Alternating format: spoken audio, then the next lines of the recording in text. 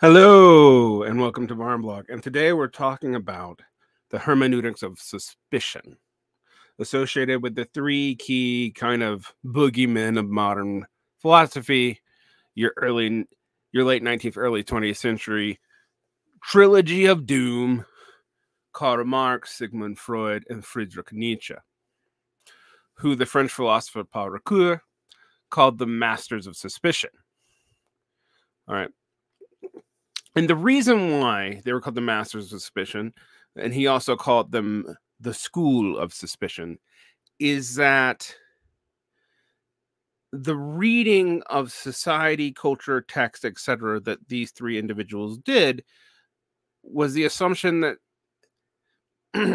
that the straightforward appearances of text, of social structures, etc., were false. Now, I remember when I first learned about Paul Ricoeur, and I also um, got this from Hans Georg Gadamer.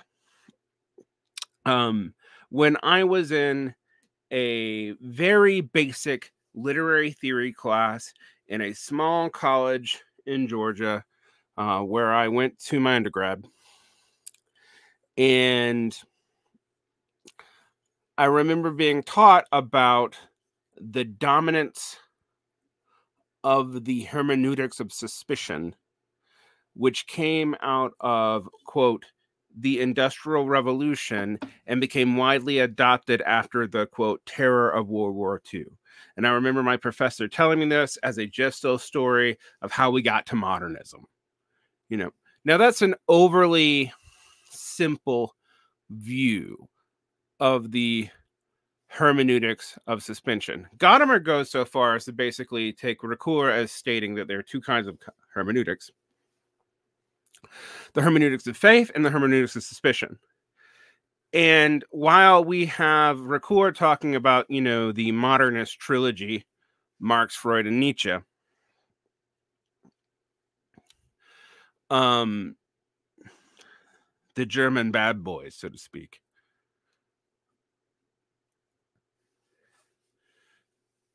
This really this modality of reading really does actually go back to the textual critical critics um, of the early 19th century and the kind of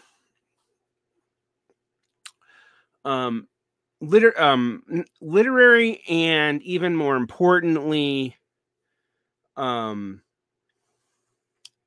classical and biblical scholarship of the textual critical critics, many of whom were also philosophically attached to the young Hegelians, such as um, the Bauer brothers, who started reading the Bible not at face value. All right. Um, and this kind of modality is often attributed with kind of introducing these ideas that you can't take the text, you know, you can't read it with a heuristic of charity or a heuristic of trust.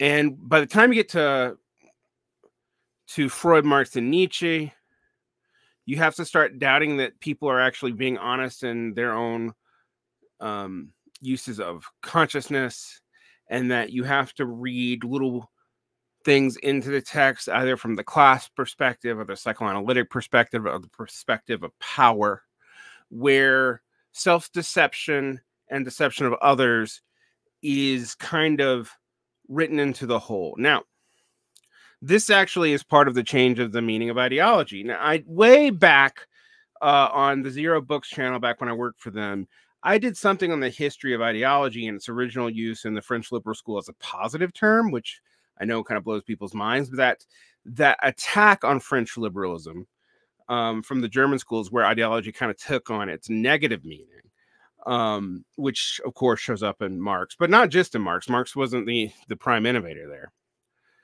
But the reading of ideology extending to consciousness itself and that thus we couldn't trust text to tell us the truth like you can't take them as self-evidently you can't read them uh, you can't necessarily read them charitably uh, that's that's kind of the way marx freud and nietzsche worked according to Gadamer and Ricoeur. Now, the the text you want to read for this um, is uh, hmm, Freud and philosophy, and you might also want to read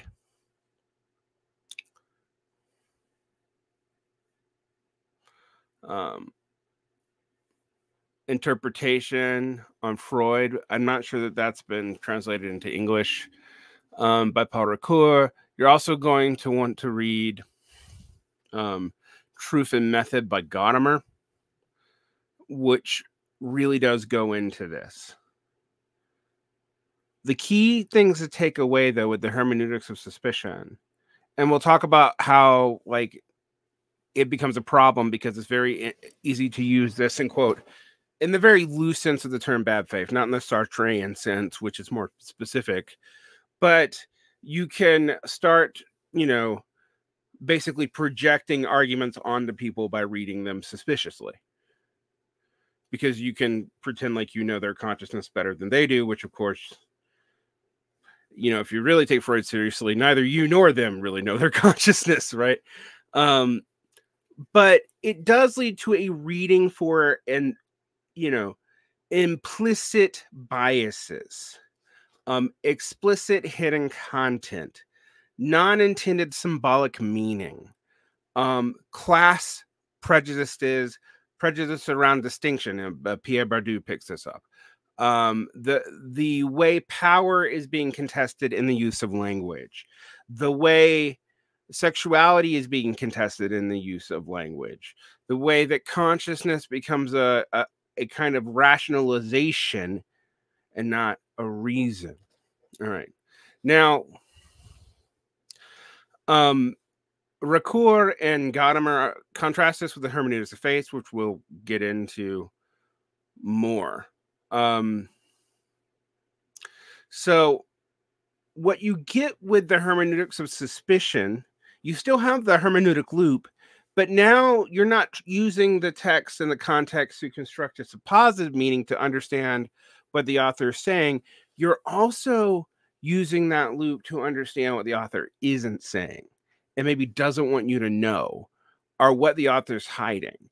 And and it's basically treating every text, every encounter, every structure even as a unreliable narration because consciousness itself is unreliable. Now, the vector of which consciousness is distorted from this kind of reading of Marx, Nietzsche, and Freud, from Ricoeur and Gadamer, is different. So for Marx, it's going to be the modes of production and the justification of the power relations in that mode of production, not just power in itself.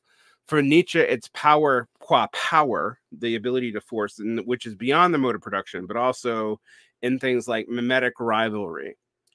Um, Nietzsche has a very Thucydidean or Hobbesian view of people's attempts at power. But unlike Hobbes, he doesn't think a sovereign's going to fix it. Only the only through struggle and through being ruthlessly self-honest about your your attempts to take power, shifting from slave morality, which is dishonest, but innovative and quite intelligent. In fact, there's almost a historical dialectic in Nietzsche.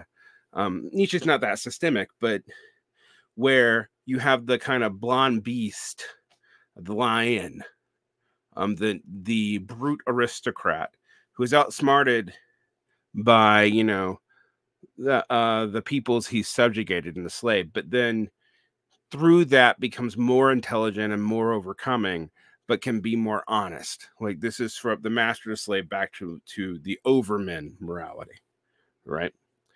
Um that's nietzsche's hermeneutic of suspicion. That's what he thinks going on.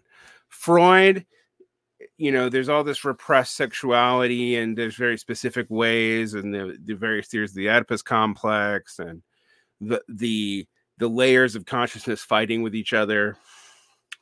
Um, the super ego, the ego, and the id being at odds. And then, of course, Marx, you have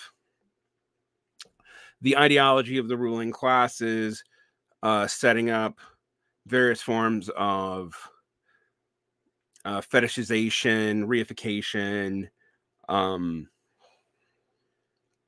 distortions of belief, which justify class rule. Right.